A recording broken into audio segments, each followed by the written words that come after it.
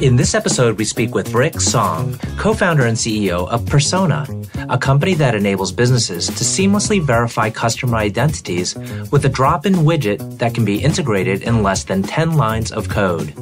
Persona is backed by Founders Fund, Index Ventures, and Coatue, among other investors. The company has raised over $200 million since its founding in 2018. Prior to founding Persona, Rick was an engineer at Square and during college was a KPCB engineering fellow. I'm your host, RJ Lumba. We hope you enjoy the show. Rick, thank you so much for taking the time to chat with us today. It's a delight to be with you. Likewise. Thank you so much for making the time today. Absolutely. So, I recently had to fill out some information online for a financial institution, a fairly well known large one and I was asked to enter in my social security number, it made me pause because it made me think immediately identity theft is bound to happen. But then I thought again, oh, well, but this is a big company. They likely have security in place and ways to prevent identity theft or my social security number getting mishandled in any way. How does persona play into that scenario or how can it play into that scenario? I mean, there's a lot of things I want to talk about there. What's so fascinating right off the bat is that sense of fear that we all have about putting on our social security numbers now. So I'll first talk about kind of like, you know, how persona plays into it, but I'd love to also just make a comment about like kind of the broader ecosystem that we see around identity today. For persona, I think for you, you were able to build that level of trust because the institution that you're working with is hopefully reputable enough, well known enough that there's already a baked in level of trust but for many out there, especially nowadays with the whole fintech revolution, as identity becomes increasingly important for all sorts of businesses, especially smaller businesses, they don't have that level of built-in trust from day one. They don't have that level of kind of sophistication to also build out the infrastructure to verify, to manage, to securely manage all the data that you've provided and also utilize in a responsible way. So what Persona offers is essentially that infrastructure for these smaller businesses, anywhere from the collection of the information to make sure it's encrypted, in transit, at rest, to ensure that the verification of it is accessible, that the experience ensures that anyone can go through it. And you can do this all in just a quick 10 lines of code embedded into your system. And regardless of what size of business you are, from collection, the verification of the data to the management of it, you have it all available for you in the same way that honestly, I think what we've seen Stripe do for payments and what we've seen folks like AWS do for compute. So for Persona, we're really trying to do the same for identity. Taking a step back, though, I think it's even more fascinating on a broader landscape is uh, first off, these days we've seen the leak of misinformation. I mean, most likely this fear that you feel is not just because startups mishandling this information. We've seen some of the most trusted, well established institutions leak this data time and time again.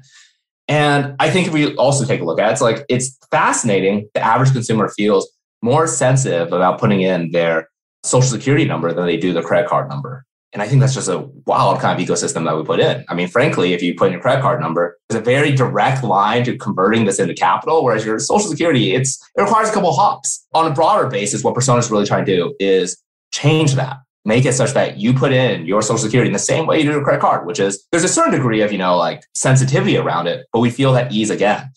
And commenting on the broader landscape, I think what's really transformed over these past 20 years, a story I always love to tell folks is about 20 years ago, I wanted to make actually a purchase online. I was just a kid at that point. So, you know, wanted to actually uh, buy a video game online. Truly an innovation at that time, I suppose. And my parents could not believe it. My dad actually thought that was one of the dumbest things he's ever heard. Putting your credit card number online is the fastest way to lose, which you possibly have, right? Uh, I think that average American 20 years ago felt unbelievably uncomfortable putting in their card information. 20 years later, I think what's so fascinating is that my father now is just retail therapying away his retirement, right? he purchases something coming in from Amazon almost every other day.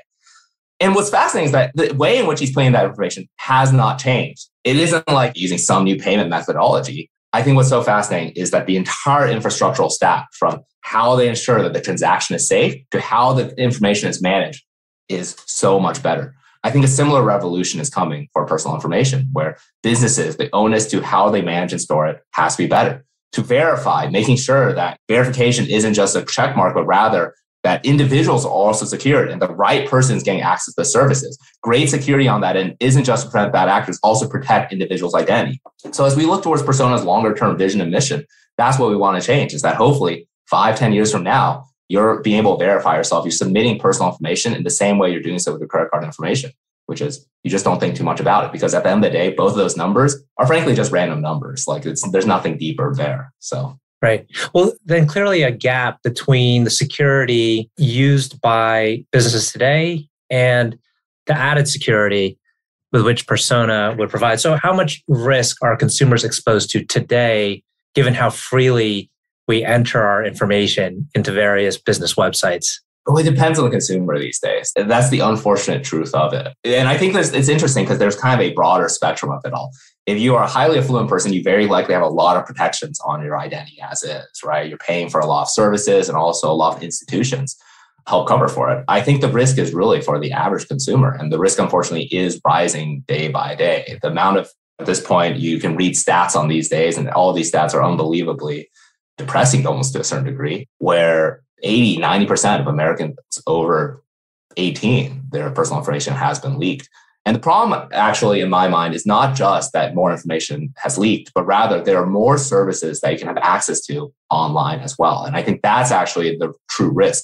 The fascinating thing is that 20 years ago, we also did not think too much about our social security numbers. You know, we knew it was sensitive. but We never kind of kept at the same level of, say, our bank account numbers or our credit card numbers. And I think what's really changed over these past 20 years, you know, 20 years ago, if you had your SSN and you want to go and like open up a bank account, you could try to fraud the bank once, but you can't show up in person 20 times with 20 different people's SSNs and be able to become, you know, like open up 20 different accounts. And if they caught you once, you know, you just come back in. That made no sense. You'd quickly be kicked out.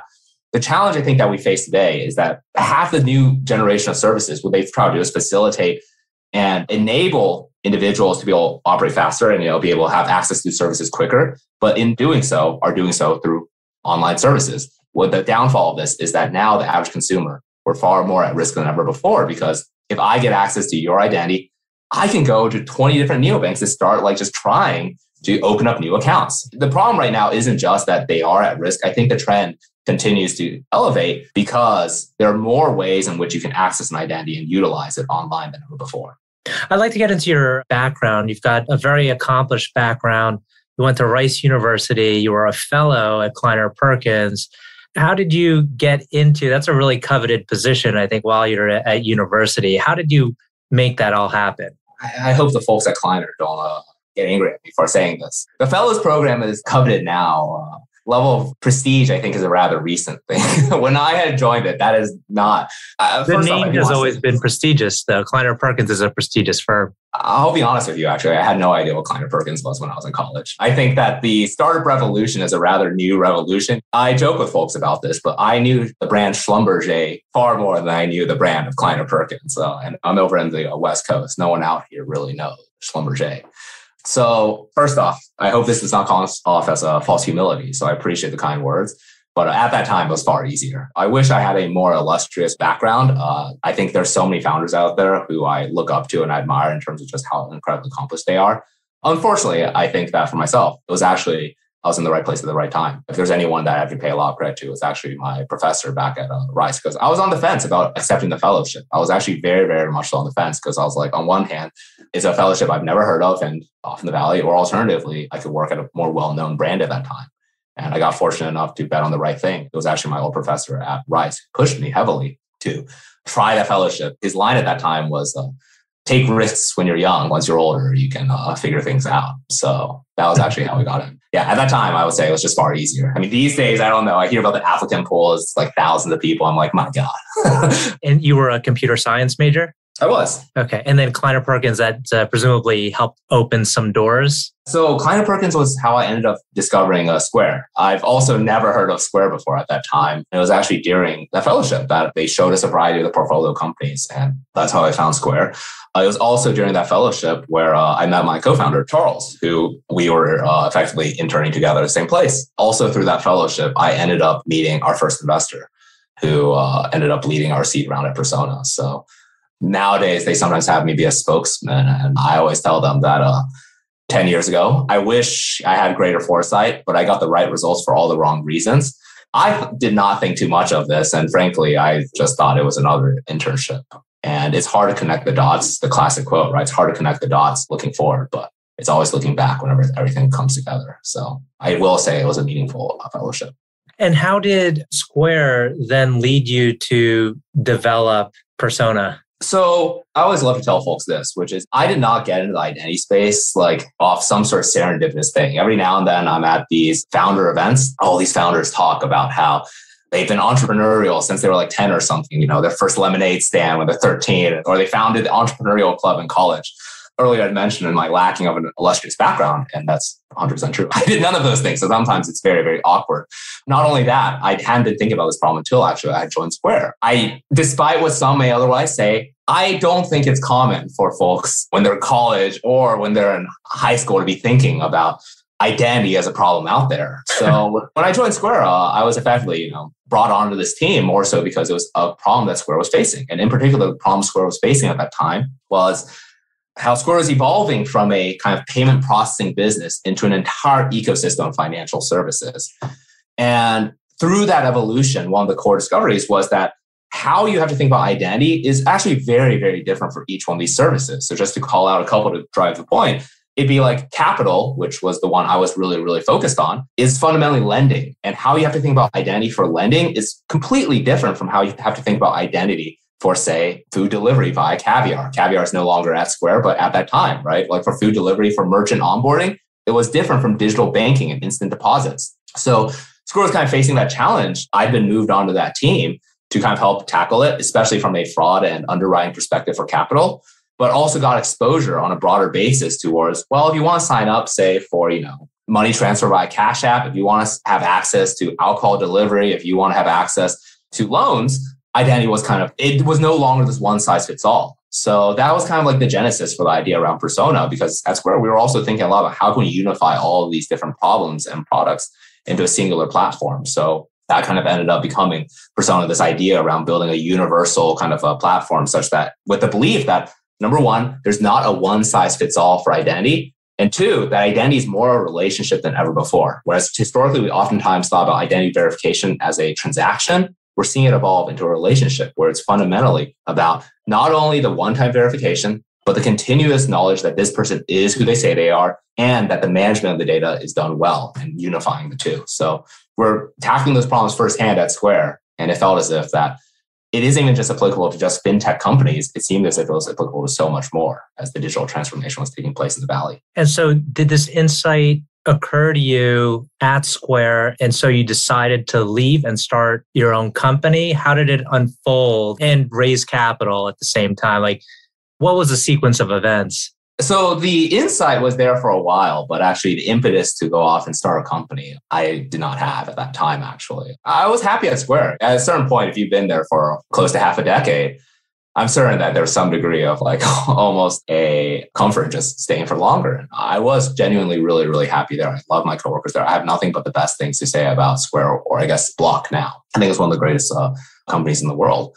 It was actually my co-founder, Charles, who I would say is like the missing ingredient to kind of sparking the entire kind of journey for us. Uh, Charles, one of my co-founders, he's my former roommate. He just moved out a couple months ago, uh, as well as, of course, one of my best friends who I mentioned earlier he was at Dropbox for quite some time and he's been focused a lot on data infrastructure and he had a lot of interest in terms of building out a company and he'd seen my interest on identity. So I've actually been working on this problem at Square for multiple years as well at this point.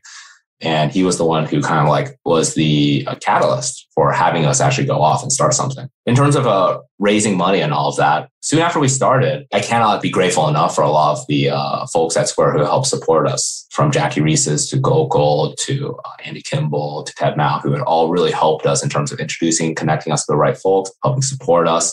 Charlie Gao, who was another uh, engineering lead that I knew at that time, who later on went off and founded Lime, helped support us at that time. So when we went off and raised money, it was honestly driven by so many of the previous relationships that we've had built up over years. You know, he'd been at Dropbox for almost close to five years. I've been at Square about five years as well, who really helped us get our footing. You're backed by some notable investors, including Index and Insight. You could tell us a little bit about your relationship with the investors and how they've added value to the business beyond just providing capital? So there's a couple things I'd say in terms of like the first and foremost thing that I look for investors is not the value they add. And I know that they may run counter to some of the current kind of like almost a dogma of I think maybe what people are looking for investors these days, but that's not the first thing I look for. The first thing that I personally really, really care about is alignment and true understanding about our business. Because I think that as much as investors can add a lot of value in a variety of ways, they too have a job and their job is fiduciary responsibility, producing returns, creating a great business. And I think what's far more important for investors is that two, three, four years out, whether we're doing well or not, we were aligned on the strategy and they knew exactly what they're betting on. So that way, whether we're in a board meeting or having a difficult conversation, that conversation is clean. What I told all of our investors at that time is that if you can help us, that's tremendous. And I mean that a lot. But at the end of the day, if I'm coming to you every other day asking for help, you bet on the wrong founder. At this point, you might as well be the one running this company. Like you did a bad job on that end. For a lot of the relationships with our, our investors, we tried very hard to make it very clear that was always the case. And I mean, we were always fortunate enough I know the broader market climate now has uh, changed dramatically. So we obviously raised in a very different ecosystem. But at that time, it was a founder's market. So we always had kind of a, a lot of relationships and a lot of support and interest from investors. So as a result, we almost always could kind of like choose the right investors for us. And interestingly enough, we've never optimized for valuation either. We've never chosen the highest valuation for any of our rounds, which I always joke. Maybe it means that I'm making terrible financial decisions, but I think we're always very prudent about raising valuations that we thought were reasonable, even if it's a bit aggressive, especially in light of current market conditions.